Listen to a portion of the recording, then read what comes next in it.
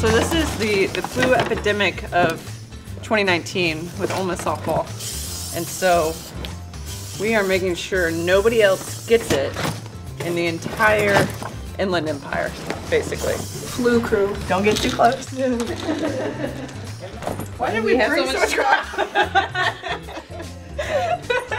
We have so many things.